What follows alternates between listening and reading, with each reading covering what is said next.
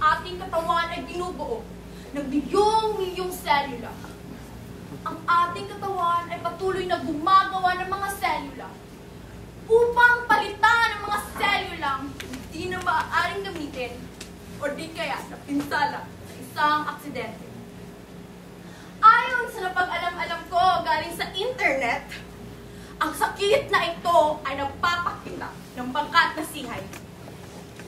Panghihimasok, pagsalakay, at pagsira ng kabilang tissue, at minsang metasis, pagkalat sa ibang bahagi ng katawan o dugo.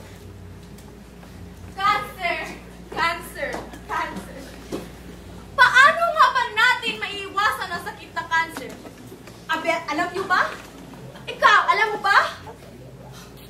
Pwes, makinig kayo. Huwag kayong tatawa. Sapagkat walang nakakatawa. Isang paraan ay magtigil sa paninigarilyo o ang paglanghap lamang ng usok nito. Mas nakakapinsala nga lamang ang paglanghap ng usok nito sapagkat ito ay kaagad na dumidikit sa ating mga bata.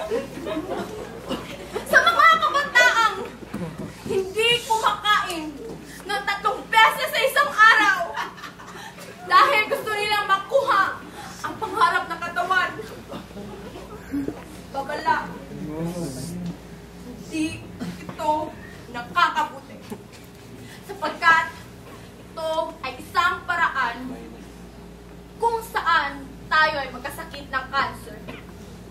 Sa mga babaeng gustong magkaroon ng kayumangging balat, ito rin ay isang paraan kung saan tayo ay magkaroon ng cancer sa balat. Ang pagbabad na matagal sa sikat ng araw ay nakakapinsala sapagkat mayroon tayong tinatawag na UV rays na sumisira sa ating mga epidermis. Kaya naman, tayo ay nagkakaroon ng cancer sa balat. Ang pagbabad na matagal sa sikat ng araw ay nakakapinsala ng alas 10 ng umaga hanggang alas 4 ng hapon. Ito ang mga oras kung saan ang sikat ng araw ay masikip. Pinag-aaralan pa na siyensa, mga kababayan, kung ano ang mabisang gamot para rito.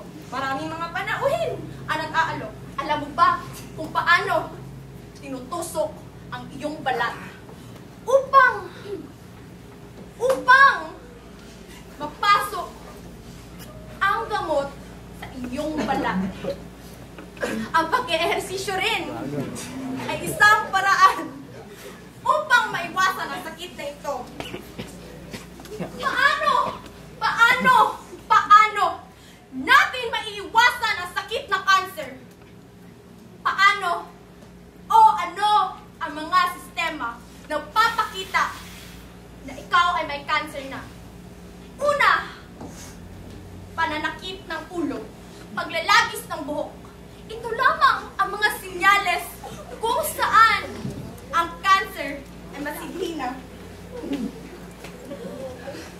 知道了，谢谢。